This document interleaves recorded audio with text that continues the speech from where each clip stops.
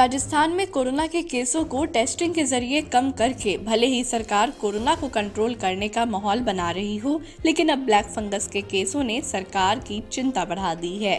राजधानी जयपुर की बात करें तो यहाँ सौ से ज़्यादा मरीज़ हैं, जो पिछले कुछ दिनों में ब्लैक फंगस की शिकायत के बाद अलग अलग अस्पतालों में भर्ती हुए हैं। वही इस बीमारी की शिकायत के कई मरीज़ अब जयपुर रेफर होने लगे हैं।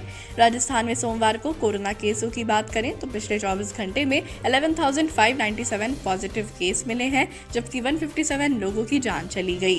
राज्य में सोमवार को महज 36,176 सैंपल की जाँच हुई है जिसके कारण पॉजिटिविटी रेट 32 परसेंट दर्ज हुई। राज्य में रिकवर मरीजों की संख्या 29,459 रही जिसके कारण एक्टिव केस 1.94 लाख से घटकर 1.76 लाख पर पहुँच गए।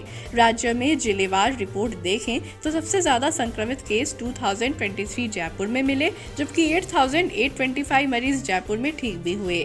जयपुर के अलावा जोधपुर में भी रिकवर मरीजों की संख्या ज़्यादा रही है। यहाँ 4,251 मरीज़ ठीक हुए हैं जबकि 954 पॉजिटिव केस मिले हैं। जोधपुर में रविवार तक जहाँ एक्टिव केस 19,000 से ज़्यादा थे वो कम होकर 15,709 रह गए। 23 मरीज़ ब्लैक फंगस की शिकायत के बाद एसएमएस में भर्ती। प्रदेश के सबसे बड़े अस्पताल एसएमएस में सरकार ने ऐसे मरीजों के लिए सोमवार से विशेष ओपीडी शुरू की है जबकि रेडियोथेरेपी विभाग में इसके लिए एक अलग से 33 बेड्स का वार्ड भी बनाया है। इस वार्ड में सोमवार को 23 मरीज़ भर्ती हैं जिसमें से तीन का ऑपरेशन भी किया गया है। वहीं जयपुर के एक निजी अस्पताल में पिछले कुछ दिनों में लगभग साठ से ज़्यादा मरीज़ इस बीमारी की शिकायत के बाद भर्ती हुए, जिनमें से कई इलाज के बाद छुट्टी लेकर जा चुके हैं। वही जोधपुर में भी ब्लैक फंगस के केस सामने आने लगे हैं। जोधपुर एम्स में पिछले दिनों 50 से ज़्यादा मरीज़ आ चुके हैं।